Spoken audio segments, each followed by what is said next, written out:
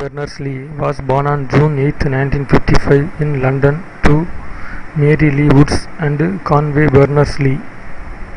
His parents were both computer programmers who had worked on the Ferranti Mark I, the first commercially built computer.